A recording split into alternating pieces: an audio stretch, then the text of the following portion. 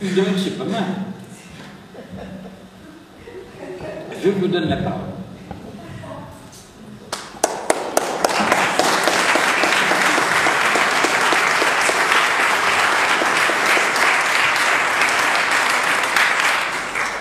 Alors j'ai un, micro là. Oh là là.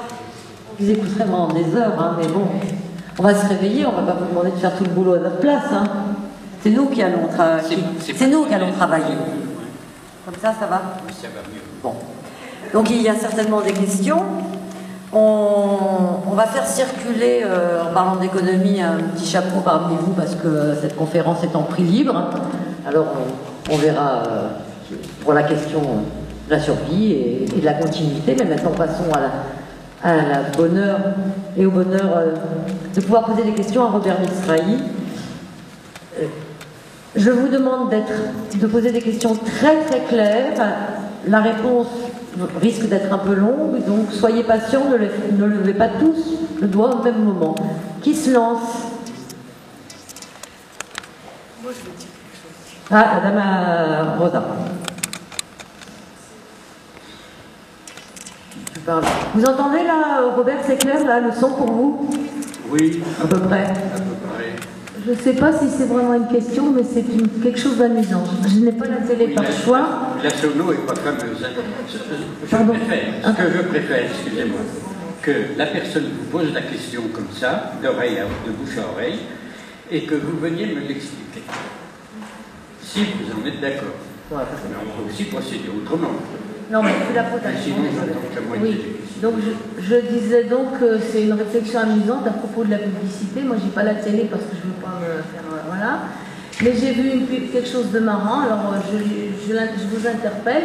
Une publicité pour des sur des voitures qui sont alignées euh, en ville pour penser à son caveau, à ses funérailles, etc. J'ai dit vraiment, c'est plus quoi vendre. Voilà.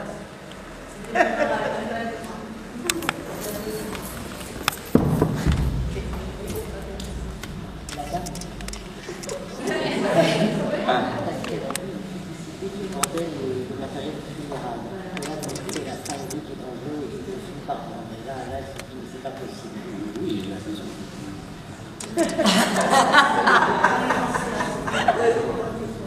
Mais vous avez raison, et cela me fait penser à une lacune de ce que je vous ai dit.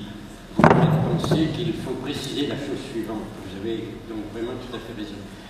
Il faut aussi que les entreprises qui vont de- devenir des entreprises plus équitables intérieurement, plus démocratiques, il faut aussi qu'elles réfléchissent au choix de leurs produits.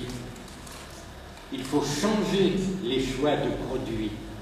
Il faut cesser de produire des objets relativement inutiles, des objets uniquement de luxe, ou de forcer sur le luxe de certaines productions. Naturellement, pour ça, il faut qu'il y ait au conseil d'administration des personnes éclairées, responsables, philosophes et politiques.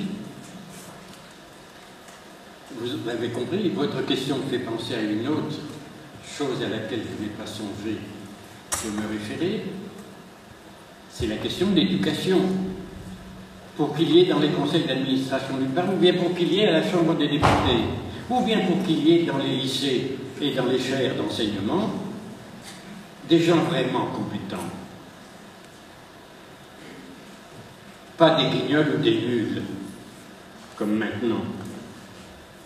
Il faut qu'il y ait eu distribué, organisé par la démocratie, un système éducatif approfondi, c'est-à-dire approfondi en philosophie,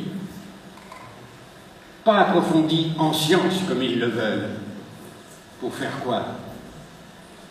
Ben, Pour aller sur Mars. Ils veulent vraiment aller sur Mars, alors ils développent des écoles scientifiques.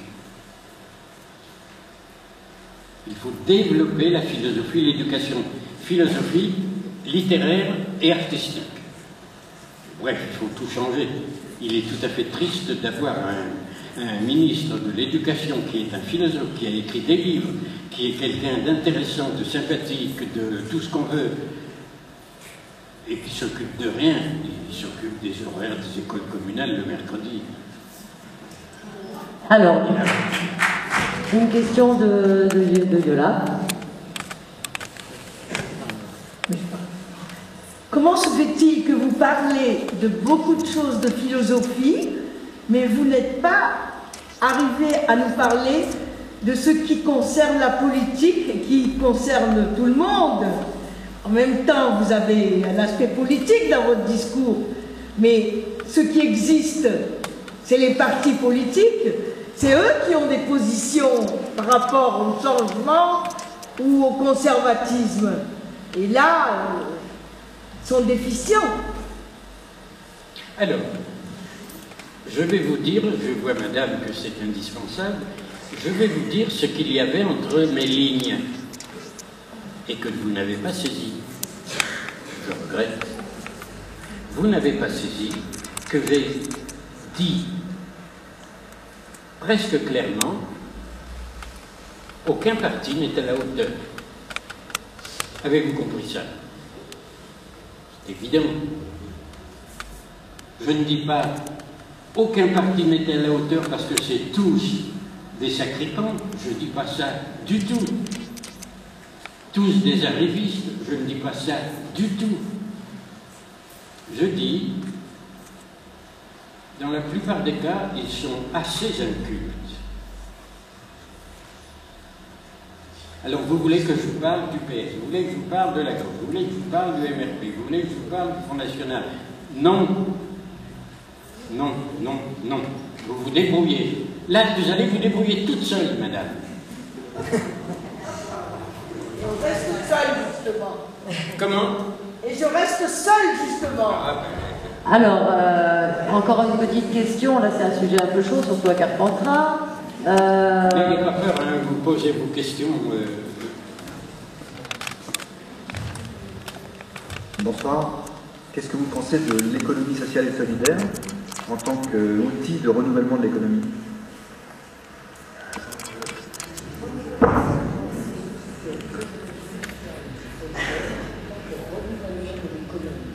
qu'est-ce que- Oui. J'ai à peine besoin de vous dire que je suis pour. Évidemment. À la condition que, c'est pour ça que j'ai insisté au début, à la condition de bien saisir la place des choses, la place respective des buts. Ne pas croire qu'avec une économie solidaire, vous avez tout réglé. Non, vous avez réglé un problème particulier, important, celui de l'économie, celui des échanges matériels. Ça n'est qu'une pierre dans l'édifice que vous avez à construire. Après, il faut aller plus loin. Il ne faut pas croire que vous avez trouvé un sens à la vie parce que vous avez défendu l'économie solidaire. Ça, je m'y oppose absolument. Le sens à la vie, c'est quelque chose de plus sérieux. L'économie, c'est important, ça nous permet peut-être d'être mieux logés, mieux nourris. C'est très important. Toute mon enfance, je l'ai passé avec un père qui était constamment au chômage. Donc je sais de quoi je parle, madame, faut pas faire d'histoire.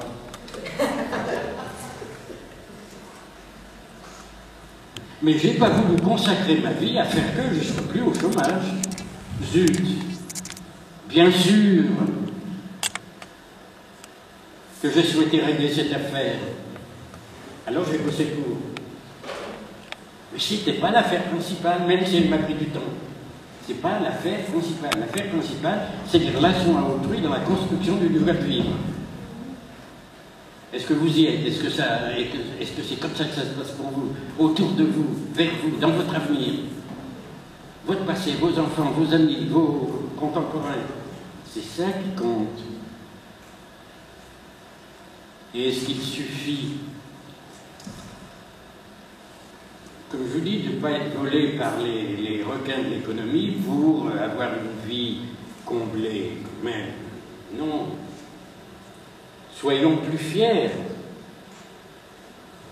Avec, euh, avec les problèmes économiques, on règle les affaires d'argent, point. Et puis après, on s'occupe d'autre chose. Ça ne veut pas dire qu'on les laisse faire, on ne les laisse pas faire, mais avec distance. Il faut aller à des réunions politiques, point, vous dites ce que vous avez à dire, puis après vous allez ailleurs faire votre vie.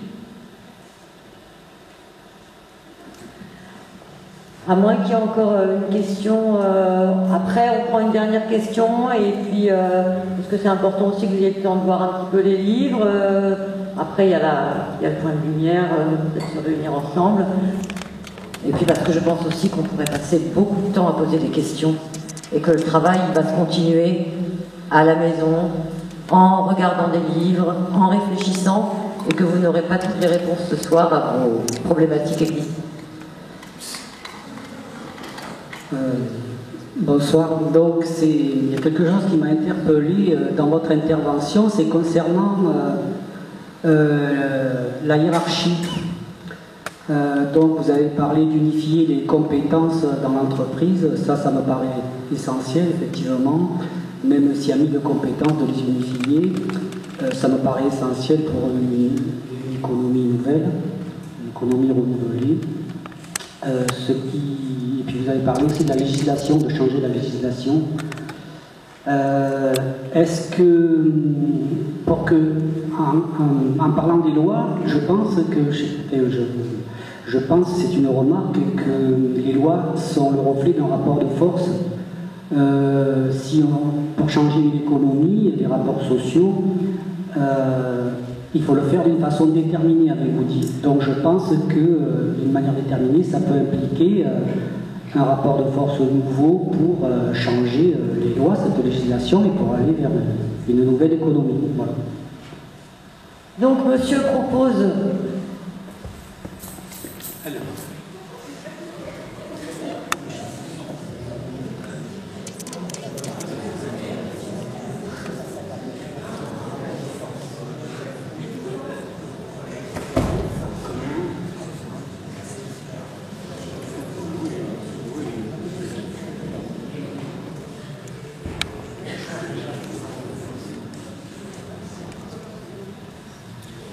Vous avez raison en ce sens que le moment est venu d'agir. On peut appeler rapport de force la mise en œuvre d'un programme qui s'oppose à une situation. On peut aussi renoncer à cette expression. L'expression n'a pas d'importance, elle est nocive. Pourquoi faudrait-il toujours des rapports de force Bien parce qu'il y a les profils, on comprend bien. On va les combattre. Pourquoi ne pas les combattre avec d'autres mots Pourquoi ne pas les combattre en, essayant de les éclairer Vous pouvez toujours trouver dans une entreprise trois ou quatre ingénieurs un peu plus un peu plus jeunes d'esprit que d'autres. Il faut maintenant risquer la chose suivante. Ne pas renoncer bien sûr à ce que vous dites. Quand j'ai parlé de détermination, en effet, j'ai voulu dire volonté ferme. Et volonté ferme veut dire combat. Mais vous avez remarqué, je n'ai pas utilisé les mots rapport de force, combat, lutte des classes. Si on fait tout ça, on revient dans un esprit euh, un petit peu obscurci, où tout le monde se braque, et puis, c'est la guerre et personne n'avance. Essayons au contraire de se mettre à parler avec, dire l'adversaire, le correspondant. Et voici maintenant une sorte d'exigence qui apparaît. C'est ce qui va être le plus difficile et à comprendre et à faire, le plus utopique, mais pourquoi pas? C'est d'attendre de la part des propriétaires, j'appelle propriétaires tout ce que vous savez, c'est d'attendre de la part des propriétaires une conversion philosophique. Ça, raison, ça. Mais, regardez, quand je dis dans telle entreprise, une entreprise qui a, je ne sais pas, euh, 50 ingénieurs, vous- en trouvez trois qui sont ouverts, qui, sont prêts à parler. euh, Mais c'est déjà ça que je veux dire, concrètement. Il faut pouvoir parler. Mais de toute façon, tout ce que le détail de toutes ces questions est un détail de mise en œuvre pratique. C'est à inventer peu à peu, ensemble, plus tard, par vous, par nous, par les autres. L'essentiel est d'abord d'être convaincu et d'acquérir la certitude sur les points généraux sur lesquels j'ai insisté. Que l'homme est libre, qu'il a du pouvoir, que la démocratie est beaucoup plus puissante qu'elle ne le dit, que les, richesses et les pouvoirs en France sont sous-estimés, que la question politique n'est pas éclairée, qu'elle est mal éclairée, qu'elle est archaïque. Sachons déjà tout ça clairement. Et la première étape d'une action politique, est-ce que ça ne serait pas de, au moins, commencer déjà à diffuser ses idées? Déjà, personne ne bouge, mais tout le monde va commencer à prendre conscience qu'il a un pouvoir incroyable. Mais le pouvoir incroyable, c'est pas seulement celui de descendre dans la rue tous ensemble et de crier. De crier sans savoir pourquoi, ni comment, ni qu'est-ce, ni pour où, ni pourquoi, ni avec quels moyens, et qu'est-ce que c'est que l'humain, qu'est-ce que c'est la société, de rien savoir et de dire seulement on n'est pas content, on descend dans la rue. C'est pour ça qu'on n'avance pas. Il faut tout reprendre mais dans les esprits, à l'intérieur. Dans les, dans dans les usines, dans les champs, etc., etc., dans les ateliers. Il faut parler, réfléchir, diffuser, et bien arriver à comprendre que Allez, je vais dire des platitudes, parce que les platitudes, c'est clair. Alors, la platitude des platitudes, c'est nous sommes tous beaucoup plus forts que nous ne croyons. Et l'autre platitude, c'est vous verrez, la vie est belle. Une question de.